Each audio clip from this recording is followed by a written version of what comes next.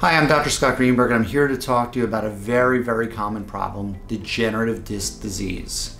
And we approach it using regenerative therapies like PRP, sometimes stem cell procedures.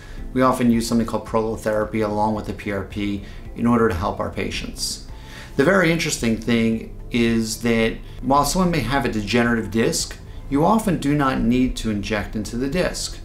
There was a great study that showed that over 80% of patients who have treatment in the methodologies that we use for their back, injecting into the joints and the ligaments and the other structures of the spine and pelvis, will actually have a very good recovery from their back pain even when they have a degenerative disc.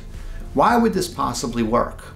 Well, often the disc is not the thing that generates the pain, even though it's what we see on MRI. We see bulging discs, we see herniations, we see degenerative discs. But think about it this way.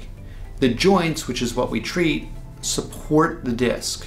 If the joints are dysfunctional and not strong, then they put additional pressure on the disc. The problem is the joint damage. The result is seeing some degeneration in a disc. Often treating a disc, which is very risky, is not nearly as helpful, at least in regards to what studies have shown, compared to treating the joints and the facets and the ligament structures and the sacrum and everything else that holds the structure of the back and holds the spine together. So with this patient, he again, he had numbness down the leg, had back pain, um, debilitating, wasn't really able to do what he wanted to do, and um, he really didn't want surgery. And you can see where those arrows are, that's the disc bulging out, and it's pressing on the nerves. So what did I do? We treated him with PRP, but I did not necessarily treat him into the disc. I treated his structure. I fixed the pelvic tilt.